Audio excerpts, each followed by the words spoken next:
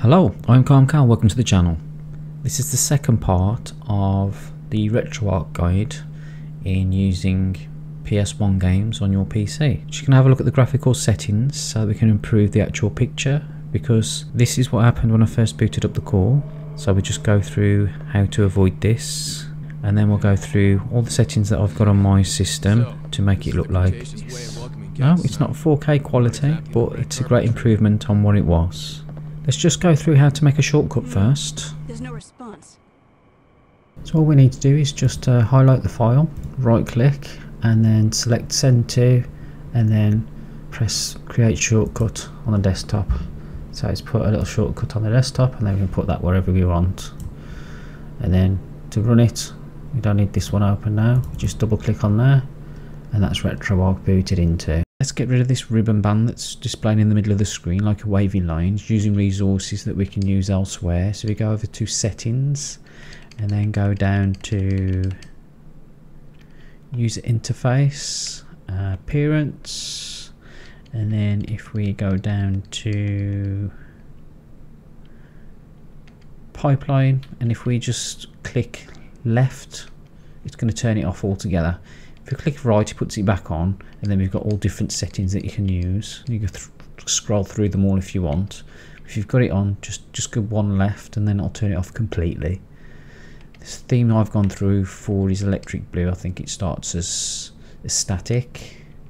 And then what we need to do is go to drivers, and then make sure the video is off this GL core, and he's on Vulkan. Okay. Then we'll go back back here and then configuration file save current configuration. Okay and then we'll go back and back and back and then we'll go over to Dino Crisis 2 because to see the settings that we've set up for Dino Crisis 2 you need to actually run the game. So if you click onto it click run.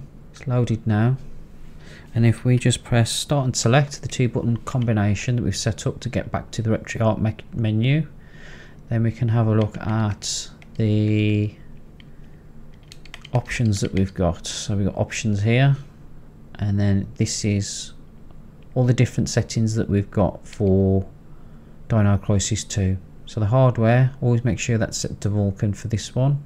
Otherwise you'll get those funny squiggly lines or flashy boxes instead of the actual graphics like we did at the beginning of the video.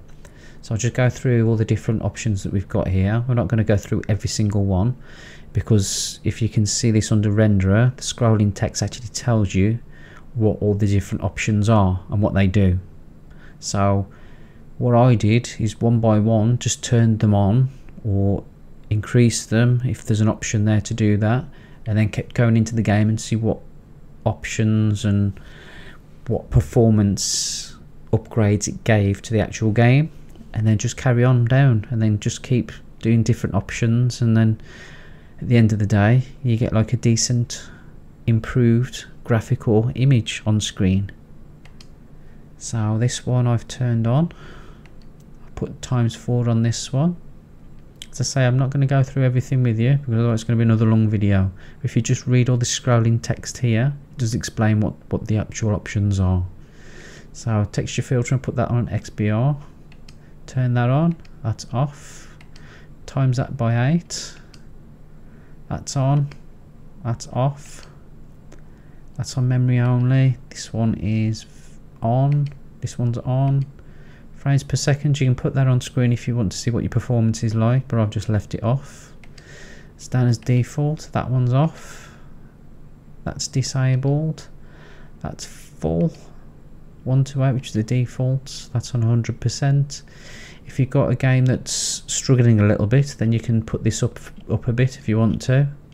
Obviously the more you put it up the more stress it has on your CPU and the more chance of it being unstable running. But if it is running slow you can you can boost it up a bit and then see whether it's stable and then boost it up a little bit more if you still need it. And then that's what I suggest you do just play around with the settings.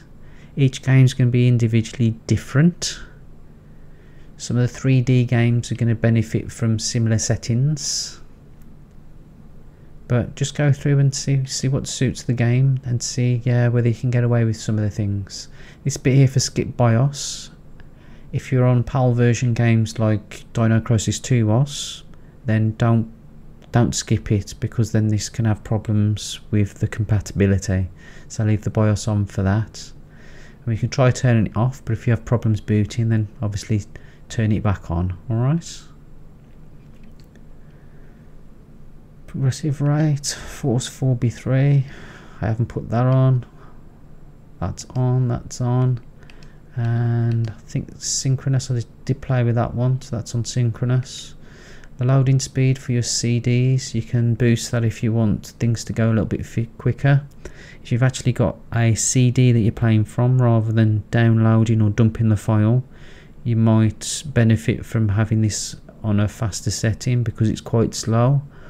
But if you're just running the normal game from your hard drive, then leave this at times two because it can have problems. So on libretro, that's on, these are off, that's on, that, them are off, obviously got a light gun, and that's all the settings that I've got. Keep playing around with them and see whether you can improve it. Try to look online, see whether there's any configuration files for the best performance per computer but as I said here per computer yours is different from mine it's got a different graphics card so your settings are going to be slightly different from what mine mine is. And also if you've got a different monitor you can have different options again. So keep playing. So we've got Dino Crisis 1 running on here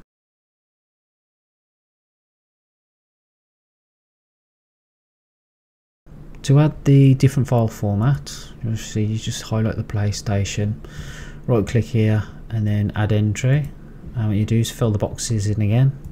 See I've done it here for Dino Crisis I've got that one. So what I'll do is I'll right click on here and then edit and just show you the path what you've got to do. So just name the file as it is and then put the path of where the actual game is which in my case was on the G that's where I stored my games.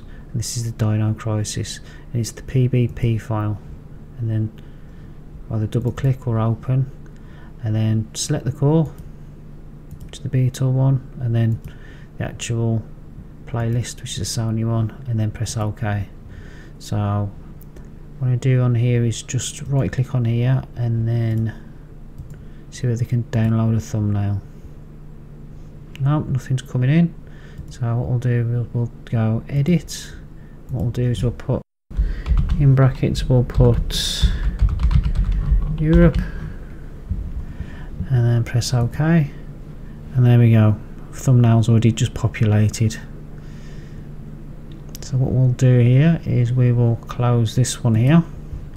We will quit RetroArch. And then we'll reopen RetroArch and it will load all those details in and then scroll across and then we got Dino Crisis Europe. And then we just press run on here. And there we go. All loaded in. So as you can tell I'm a bit of a Dino Crisis fan and also obviously the Resident Evil. But that's what it was with uh, PlayStation and things Parasite Eve as well and all different kinds of games I select new game here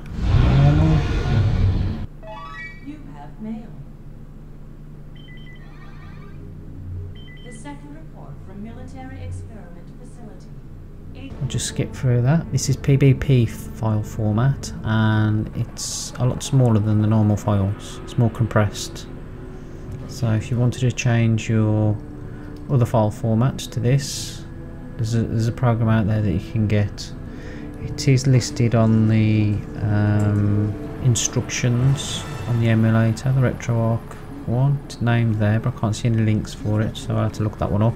Just skip through here. This is the first checkpoint. Playtime is officially over, kiddies.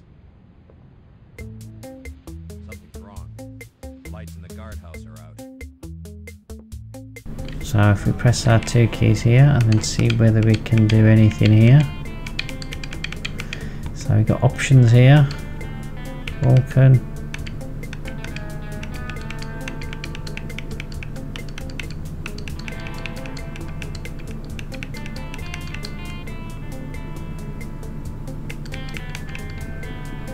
Alright, okay, so let's pick that up for the original Dino Crisis 2 that I installed. So what we'll do is we'll try a shader. Shader's on. So we'll load a shader. Go. Oh, ah, we'll try that one. Let's picked one up. Go apply. I'll go back. And then resume.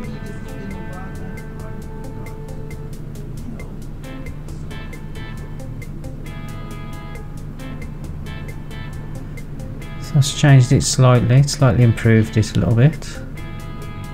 Still looks a bit blocky though for me, so what I'm going to do is have a look at this other emulator that a friend suggested. I'm going to have a play around with this one and see whether I can improve the, the graphics or performance of this one as well. So if you've got any advice or you want any help or anything, leave some comments in the comment section below. Don't forget to like and subscribe. I am going to try PlayStation 1 games with a different emulator in the next video. If you have got any suggestions for good PS1 games to try out, leave comments below as well. Appreciate the help and let's help each other. My name is Cal, have a good morning, afternoon or good evening. Farewell till next time, I'll see you later. Thanks for watching.